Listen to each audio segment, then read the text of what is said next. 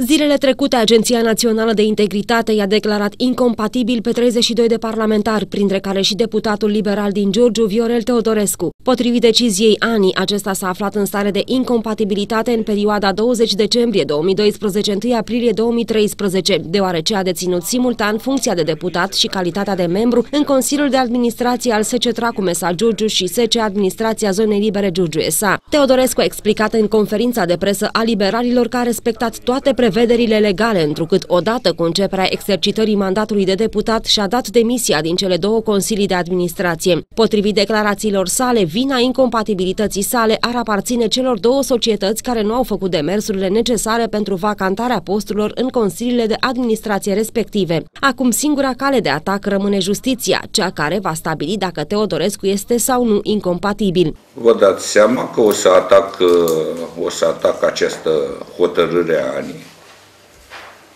în justiție și sper ca justiția, conform celor spuse de mine, să-mi dea dreptate că de fapt și de drept eu am făcut ce trebuia să fac conform legii.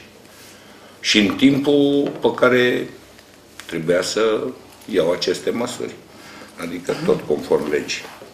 Sper să-și facă datoria, sper să-și o facă corect și demn chiar cu celeritate, ca să reușim să rezolvăm și această problemă, să-i spunem, de presă.